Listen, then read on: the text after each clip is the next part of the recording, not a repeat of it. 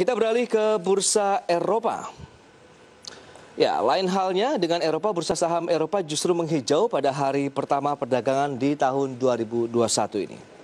Ya, meski ada kekhawatiran atas meningkatnya jumlah kasus virus corona di seluruh dunia, namun bursa saham Eropa justru menghijau pada hari pertama perdagangan tahun ini.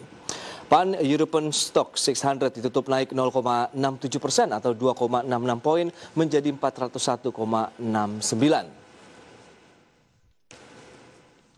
Ya, pemilik Ledbrokes Intain melambung 25 persen setelah perusahaan betting and gaming tersebut mengkonfirmasi tawaran pengambil alihan dari MGM Research International. Sementara Inggris mulai meluncurkan vaksin virus corona yang dikembangkan oleh AstraZeneca dan Universitas Oxford pada Senin dan ini menandai langkah dalam pertempuran global melawan pandemi.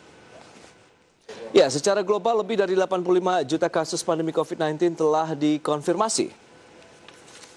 Kita akan cermati bagaimana dengan pergerakan bursa di wilayah Eropa. Ya, di Jerman kita lihat DAX naik tipis saja 0,06 persen menjadi 13.726. Kemudian FTSE Inggris juga naik 1,72 persen menjadi 6.571. Kemudian CAC 40 Perancis mengalami penguatan sekitar 0,68 persen menjadi 5.588.